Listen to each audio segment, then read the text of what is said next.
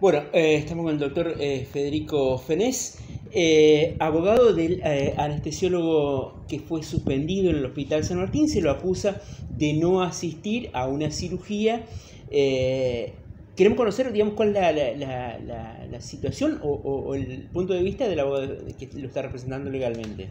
Bueno, buen día para toda la audiencia. Este, y para vos, Ricardo. Este, bueno, es importante primero establecer que estamos ante un decreto que dispuso dos cosas. Primero, un sumario administrativo al doctor este, Muro Bernaola por una supuesta falta cometida en el desempeño de sus tareas como médico anestesiólogo del Hospital San Martín. Eh, esto es un supuesto, es un, es un, es un mero, es una mera probabilidad hoy. Eh, el sumario va a ser el ámbito idóneo en donde se va a eh, dilucidar toda esta cuestión. Y está dentro de las potestades o de las facultades que tiene eh, el gobierno, el superior gobierno de Entre Ríos, en su faceta como empleador. Bien, eso por un lado.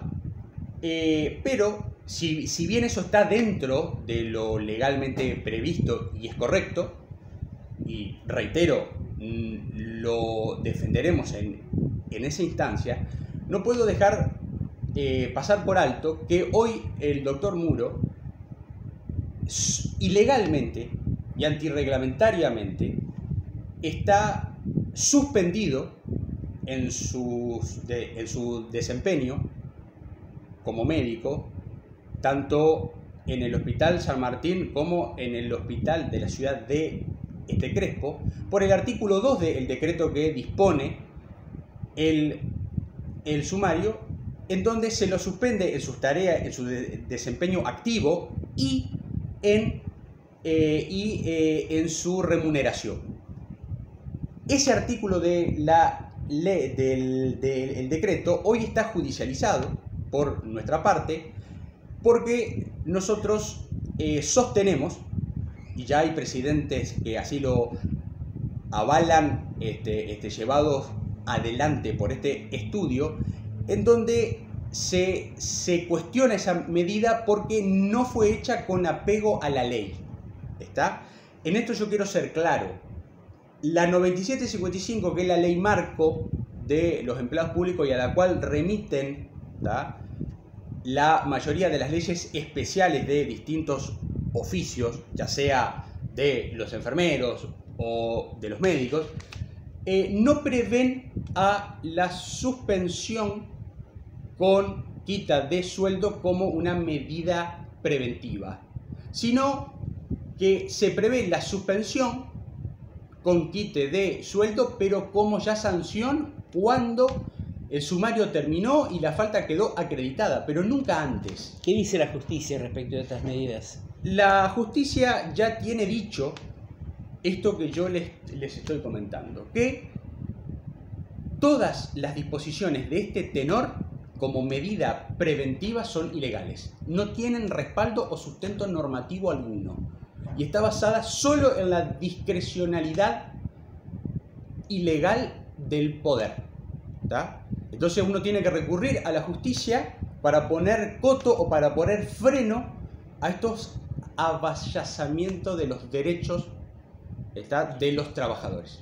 Hay un antecedente que cita el, decreto de inicio de sumario, eh, habla de una situación similar en 2018.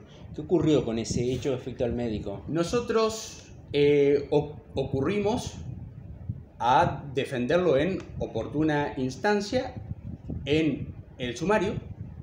El sumario jamás tuvo resolución en tiempo procesalmente útil y razonable.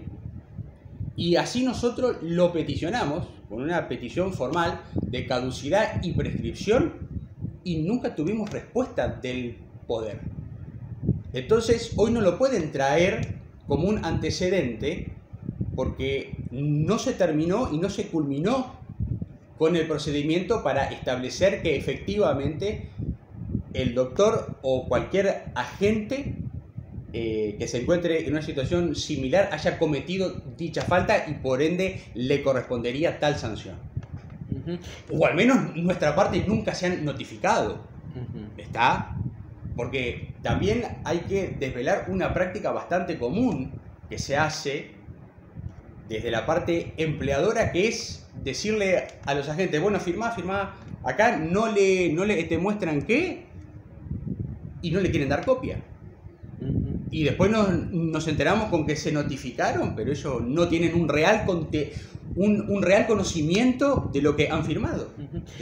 Una práctica bastante este, este, rara confiado en que la justicia va a dar marcha atrás, al menos con esta medida de adelantamiento de, condena, digo que es la suspensión sin goce de haber. Nosotros, los abogados, nunca podemos prometer resultado, pero sí prometemos desde este estudio siempre encarar una férrea defensa de los derechos de los trabajadores para, para reafirmar su dignidad y que no se vean avasallados en sus derechos. La última palabra la tiene la justicia, pero desde nuestro lado hacemos todo lo que tenemos que hacer.